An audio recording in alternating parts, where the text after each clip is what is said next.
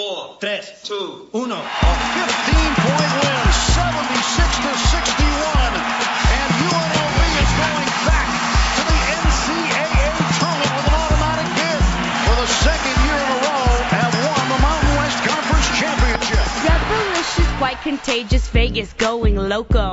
Curtis, Wink, and Rougeau make the other teams go, oh no, them frog legs made good eating. Utah took a beating, guess what? You're next. Rebelicious.